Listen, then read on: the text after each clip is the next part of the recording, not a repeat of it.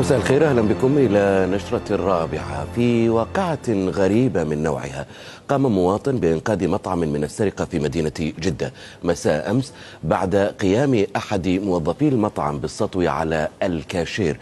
ليتفاجأ بعد ذلك بوجود المواطن سعد عيد فور محاولته الهرب حيث قام سعد بايقافه فورا وإعادة الأموال إلى المطعم. الأمر الذي أثار عاصفة من الإعجاب بسعد في مواقع التواصل الاجتماعي. معنا في استوديو الرابعه بطل هذه الحادثة. سعد عيد حياك الله يا سعد. أهلا أستاذ. أنا حاب أحيي الجميع وحبي أمي من هذا المكان. ما شاء الله. طيب خلينا أبدأ بشعورك في هذه اللحظة وأنت تشوف حادثة السرقة تصير قدام عيونك. والله أنا أخذتني أول شيء ال ال الوطنية والمكان. يعني حسيت حسيت إنه في شيء غلط قاعد يصير. شايفه أنا شفته دخل المحل. شايفه أنا بعيني قاعد براقبه من بعيد عرفت؟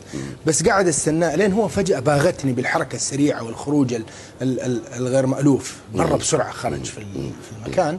فإيش اللي صار وقتها؟ أنا الآن لازم أعطي ردة فعل سريعه طبعا أكيد. فقررت كده لا اراديا حاعطيها قبضة النمر معاها. قبضة النمر؟ إيش هي قبضة النمر؟ هذه؟ قبضة النمر إحنا ما شرحت لك معلش أنا أمارس فنون قتال زي الجودو آه. والإيكيدو وال MMA فقبضة النمر هي ك- كده.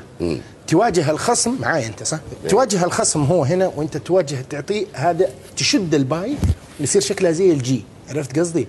بعدين تعطيه يصير قبضة الضربة النمر. نعم الضربة تكون موزعة. بس يعني شكلها صعبة شوية يبغى لها مع الممارسة تجي هي. وأساعد. أنا شاكر ومقدر وجودك معنا. آه أنا بس حاب أضيف. إضافة لو سمحت. أنا تفضل.